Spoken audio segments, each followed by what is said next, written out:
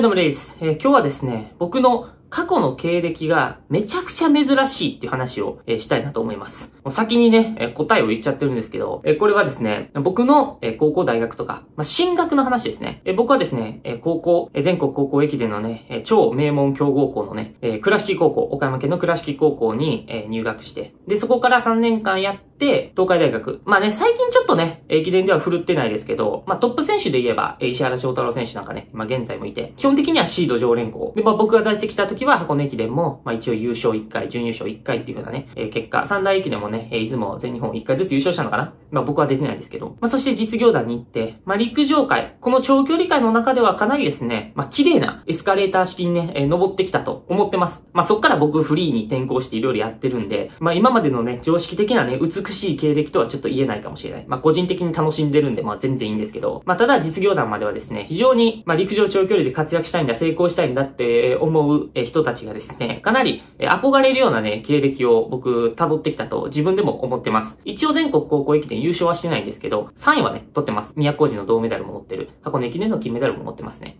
まあ、出雲の銅メダルも一応持ってますね。まあ、個人的なね、えー成績、まあ、インターハイとかね、えー国体とかなんかそういうのは別に一応決勝に残ってっていうぐらいで入賞したとかメダル取ったとかないんですけど、世界大会とかにも出てないですしね。まあ、ただ駅伝っていうところに重きを置いて、まあ、いい競技生活をね、えー送ってきてたんじゃないかなというふうに思います。まあ、そこでですね、まあ、僕の、えーそういう進学の経歴の中で、まあ、普通の陸上やって、えー高校で活躍して箱根駅伝出場したような選手では、なかなか考えられない超珍しい経歴が実は僕あるんですよ。で、これは、まあ、ライブとか、えー動画の中でチロッと話したことはあるんですけど、えーこういう風に一本の動画としてちゃんとまとめて出したことはないので、まあ、それをですね、え今回初めて、えー一本の動画のストーリーとしてね、え話していきたいなという風に思います。まず中学校の時ですね、えー中学校の時、まあ僕ね、え3000メートル8分54秒というタイムを出して、まあ全国大会にはね、えー行ってないにもかかわらずね、まあ結構いいタイムで、まあ県内の中では結構活躍してたんですよね。でですね、まあ西脇工業高校とかね、まあ県内の兵庫県といえば西脇工業高校ですよ。からまあ話もね、もちろんいただいてて、まあ先生とかにもね、まあレイリー結構ね、競技の成績も伸びてきたし、まあ高校でもええとこ行って、まあ将来性あるんちゃうかと、陸上頑張ってみたらええんちゃうかというね、話をもらってね、まあそういうチームへのね、進学もね、考えてはいたんですけど、まあ実はですね、僕、えーそこでですね、かなり、えー自分の強い意志が一つあって、坊主にしたくない。西脇工業高校ってまあ坊主じゃないですか。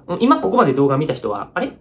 え、でもお前坊主にしてたよな、と思うかもしれないですけど、まあ、ちょっとそれは先の話で。一旦僕は、えその中3の夏ぐらいに、坊主には絶対にしたくないっていう理由で、西脇工業高校に行くことは、えー絶対にないと。いうふうに、え自分でも、え思ってました。まあ、県内の強いチームとしてはですね、まあ、一応、須磨学園高校とかもあったんですけど、まあ、あそこはですね、学力がある、結構いい学校で、あの、僕ですね、非常にね、え学校の成績が悪くて、ちょっと陸上の成績が良くても、えー学校には入れられないと。ということで、えー、須磨学園高校にも行けなかったと。えー西脇工業と、えー須磨学園高校に、え行けない、行きたくないということで、僕はですね、中学校の時に、強豪校に行くんやめようと思いましたね。まあ、ある程度ね、自信家だったんで、僕も、別に自分一人で練習してもいけるだろうと。そんなに強くないチームにいても、ワントップの超ド級エースになって、中学校の時と同じようにね、まあ、楽しく陸上やったらいいかなっていうふうに思ってて、普通の公立高校を目指すことをね、決めたんですよ。で、まあ、最終的にね、普通にそこを受けました。で、もう僕は絶対その高校に行くって決めて、まあ、陸上も一応あった。まあ、そんな弱くはないですね。まあ、弱くはないっていうのも、まあ、でも結局最終的には、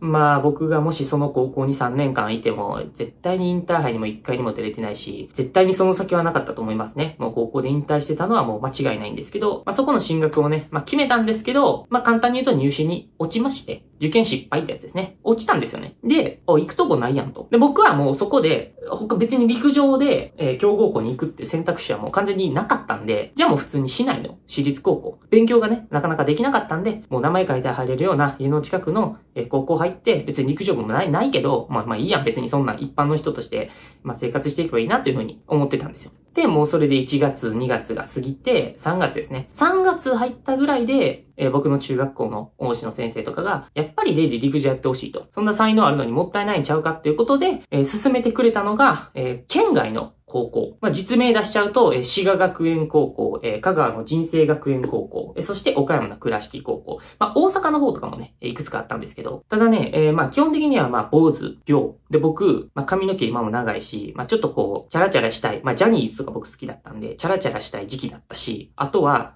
ゲームとかも大好きで、もう今でもね、パソコンゲームやってる、ずっとやってるんで、まあ、そこで坊主にして、まあ、ゲーム禁止なんで、量って基本的に、まあ、携帯とかもね、回収されますし、まあ、そういう生活を送るっていうのはもう考えられなかったんで、まあ、僕はもう断固拒否だったんですね。陸上やめると。ただ、まあ、何を思ったのか、俺もちょっとね、その当時の記憶がはっきりないんですけど、結局最終的には、えー、もう3月の中旬ぐらいに、まあ、わかりました、じゃあ行きますと。覚悟決めますと。で、これは本当に、まあ、今だから言っていいこと、これがその学校のルール的にちょっとどうなのかっていうのは、まあ僕もわかんないんですけど、どの高校もですね、3月31まで待つって言ってくれたんですよね。まあこれ冗談か本当かわかんないですよ。本当に3月31に返答したわけじゃないから。でもかなり遅かったです。僕の返答は。もう3月15は、えー回ってました。え学校の入学がね、4月2日とかなんで、入学式まで残り2週間。それぐらい行ったところまで、えー、僕は悩みに悩んだし、学校も今入学決めてくれてもいいですよっていう話で、えー、考え抜いて決めたのが、えー、岡山のクラシック高校。なんでクラシック高校にしたかっていうと、まあ、話くれた学校の中で一番強かったから。やるなら強いとこ行きたいじゃないですか。でもうどうせ坊主にしてね、どうせ寮行くんだったら、その中途半端じゃなくて、えー、まあ一番強いとこ行って、インターハイも出るし、国体も出るし、箱根駅伝も出るしっていうところで覚悟決めていきましたね。まあ、なのでかなりね、珍しいですよね。シャーなし、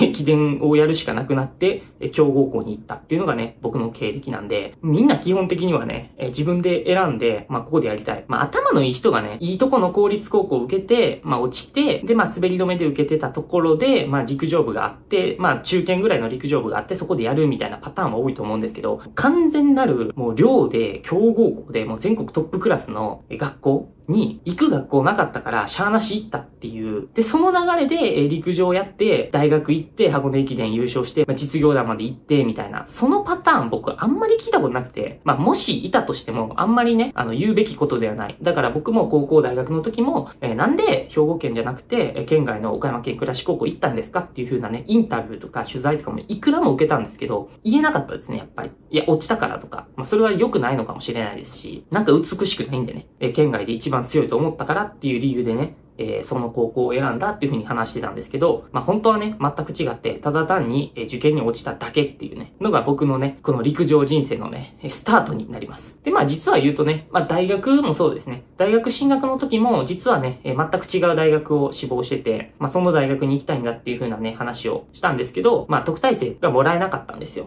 まあ、担当直入に言うと、まあ、その学校は結構短距離とかも、えー、特待生取ってるチームだったんで、長距離の中では僕より速い人全然いなかったんで、絶対いけるやんと思って志望したんですけど、まあ、ちょっとダメだったと。で、回り回って、第2希望、第3希望ぐらいまで行っ、で、東海大学なんですよ。僕、第一志望でもないんですね、本当は。まあ、最終的に高校3年生ぐらいになってからはね、あの、本当東海にしてよかったなっていう風にね、後から思ったんですけど、一番最初にね、え志望して監督に相談した大学はそこではなかったんです。断られたから東海に行ったんですね。僕はね、だから基本的には、えー、高校も大学もですね、断られたからそこに行った。決してね、自分の一番希望してきた道に行ったことはですね、ない。そんな経歴なんですよね。まあだからね、これからね、高校大学行きたい人、社会に出て会社にね、入っていく人もね、たくさんいると思うんですけど、なかなかね、第一志望にいけない。そんな人もね、たくさんいると思います。でもそれはね、失敗じゃないと僕は思ってて。逆に僕は、えー、高校とか大学の時に第一志望のところに行けてたら、もう全然ダメだったと思うんですよ。僕が最初に行こうとしてた高校はもう駅伝部っていうのがね、もう今ほとんどないぐらい弱いですし、えー、大学も、まあ、全く、僕がもしその大学に4年間、あのタイミングで行けてたとしても、もシード権は1回も取ってないし、出場もできてない年もね、あるんでね、本当に今とね、人生全く変わったと思います。まあ、陸上に関わることはまあなかったと思うし、まあ、そう考えるととね、まあ、怪我の巧妙っていうこの例えがちょっと正しいのかわかんない。ちょっと僕の頭の悪さがそこで出てしまうかもしれないですけど、失敗から得た成功なんですよね。まあ、どこに行くかじゃなくて、そこで何をするかっていうのがね、大事になってくるかなというふうに思うので、〇〇高校に行ったから、〇〇大学に行ったからすごいとかね、まあそういう考えではなくてね、自分が何を成し遂げるかっていうのをね、大事に取り組んでもらえたらなと思います。ちょっとなんか珍しくね、硬い話というか、真面目な話をね、しちゃったんですけど、まあ、たまにはね、こういう動画もいいかなというふうに思ってあげてみました。えー、以上、今回もね、僕の独り言でした。ありがとうございました。